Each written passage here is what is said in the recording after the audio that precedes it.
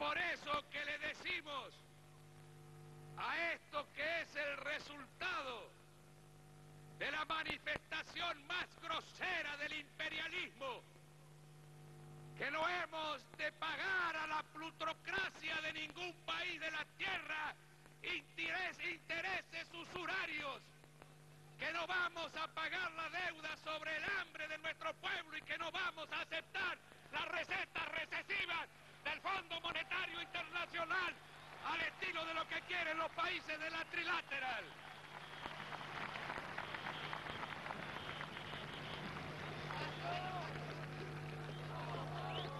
Vamos a pagar la deuda en la medida de nuestras exportaciones.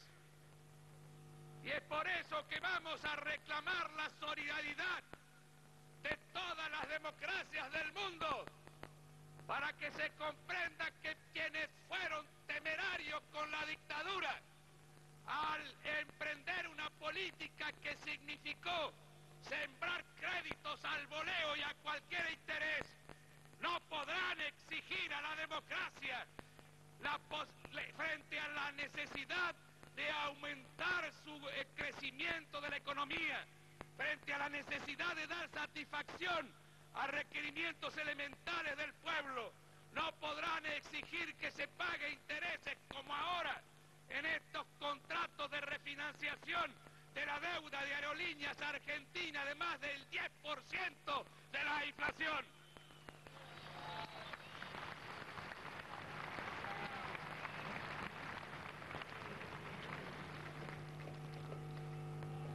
Vamos a la producción y en todas las actividades.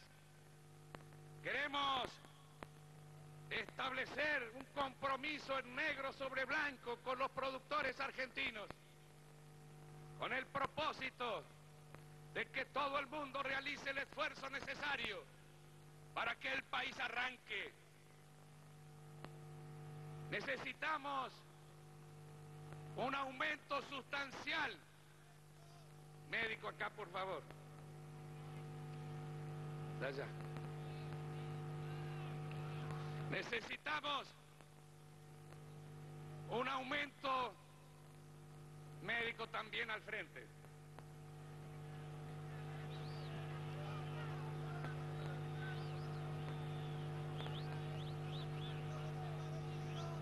Ya hablamos. Ya hablamos.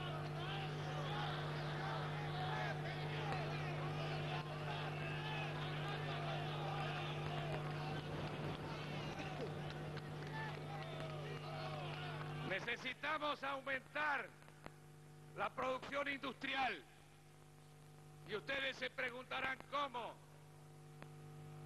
Si no vamos a tener la posibilidad de uso de divisas para la importación de bienes de capital. Es cierto.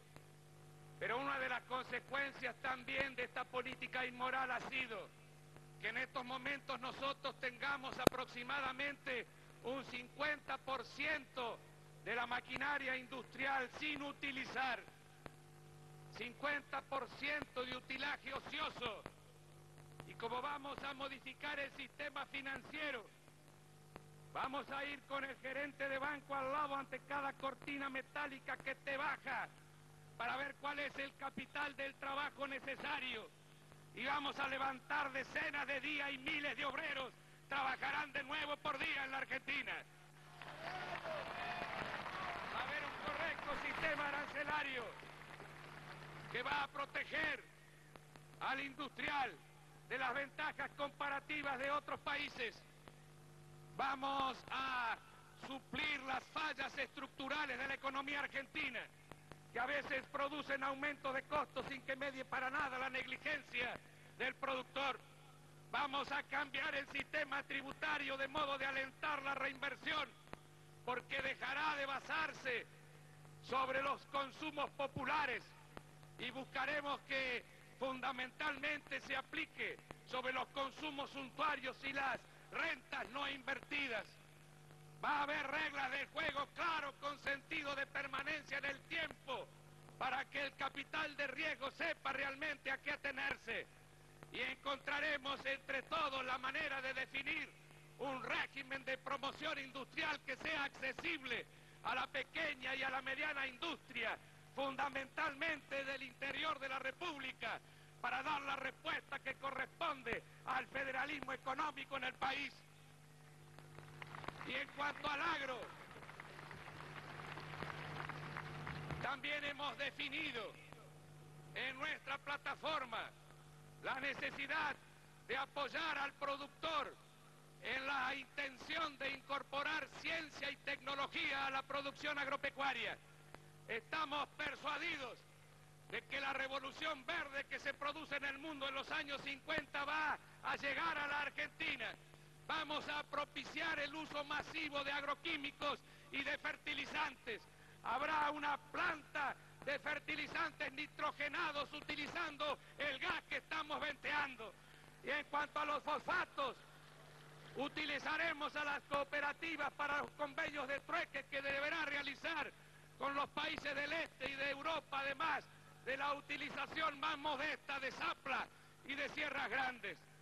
Vamos a lograr que la Junta Nacional de Granos y la Junta Nacional de Carnes estén preparadas para intervenir en el comercio exterior, no para monopolizarlo, pero sí para que sean testigos en el comercio exterior del productor y para que la Argentina no pierda buenos negocios como ha perdido por fanatismo ideológico, porque no se quiso comerciar de gobierno a gobierno y a veces no sabemos ahora cuánto nos pagan en realidad porque apareció un empresario inteligente que no sabemos con lo que se queda en el camino. Hay muchos países que quieren negociar de gobierno a gobierno, no solo los socialistas, en África, en Asia y en América Latina. Y tendremos que buscar también la manera de cambiar el sistema tributario, de modo de premiar al buen productor y castigar al mal productor. Y en todos los casos, detrás de este esfuerzo fundamental del productor industrial o del productor agropecuario, estará un sistema financiero distinto, con posibilidades de crédito que sean accesibles para la producción de acuerdo a la rentabilidad de cada uno, porque queremos al industrial en el torno, trabajando para el país, y al productor agropecuario en el campo y en el surco, elaborando la grandeza de la patria y no corriendo detrás de los gerentes de banco para cada vencimiento.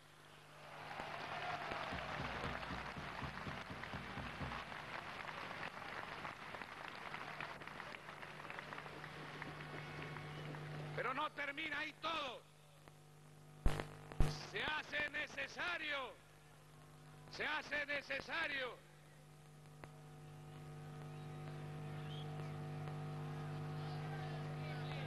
se hace necesario lograr una política agresiva en el comercio exterior.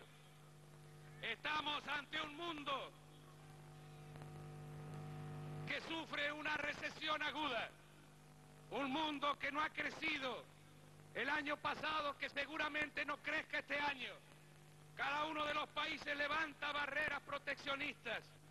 Todos están sufriendo de este gobierno de ultraderecha de los Estados Unidos, la puesta en marcha de una política financiera que en definitiva privilegia a las finanzas en detrimento de la producción. De modo que es difícil y tenemos que lograrlo. Hay que diversificar los mercados y habrá que colocar no solamente nuestras materias primas, sino además también nuestros productos manufacturados. Y para ello, nada mejor que aprender a trabajar en común con nuestros hermanos de América Latina. Nosotros somos discriminados y aún agredidos en nuestro comercio exterior por el norte, tanto por los Estados Unidos como por el mercado económico europeo.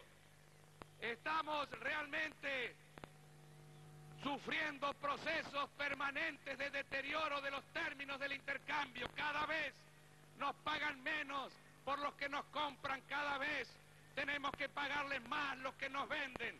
Y ahora son competidores nuestros en terceros mercados para la colocación de carne vacuna y de granos en contra de toda la filosofía que preconizan con productores subsidiados. Tenemos que aprender a trabajar, como les decía, en América Latina. Tenemos que dejar de ser los soberbios europeos de América Latina y trabajar juntos con nuestros hermanos para defender nuestros intereses como corresponde. Hay que hay que internalizar el comercio exterior. Hay que trabajar además para cumplir el sueño de los libertadores. También un médico por ahí, por favor.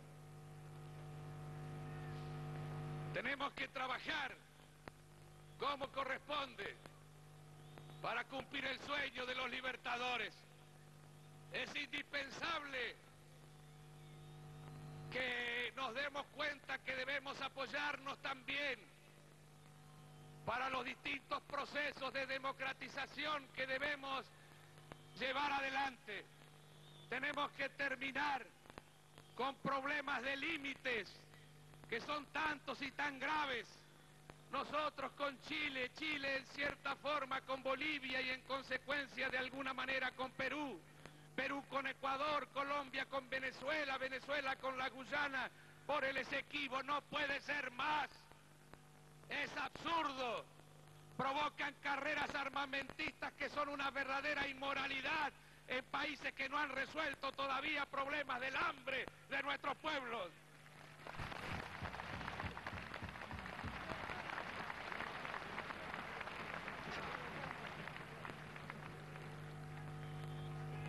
Es un lugar común ya decir, amigos, que vamos a recibir a nuestro país en una de las crisis más profundas de su historia. Casi daría la impresión que son tantos los problemas que los cursos de acción que hay que seguir para solucionarlos fueran distintos y a veces contradictorios. Hay que dar la respuesta que corresponde a la justicia social y aumentar el poder de compra del pueblo y esto al mismo tiempo que disminuir una inflación tremenda. Vamos a atacar la inflación, pero no haciendo recaer sobre las espaldas del pueblo el esfuerzo de la reconstrucción de la economía. La vamos a recibir en alrededor de un 500% y nos comprometemos en pocos meses a llevarla a dos dígitos al año. Pero la vamos a hacer atendiendo a las medidas estructurales y promoviendo de todas las maneras posibles el aumento de la producción, al mismo tiempo que con una disciplina monetaria y fiscal. Tenemos que aumentar los gastos en educación y en salud, pero no podemos aumentar el déficit y entonces corresponderá que la saquemos, saquemos esas partidas de otras zonas del presupuesto. Y como no podemos aumentar el déficit, vamos a disminuir el presupuesto de las Fuerzas Armadas en el país.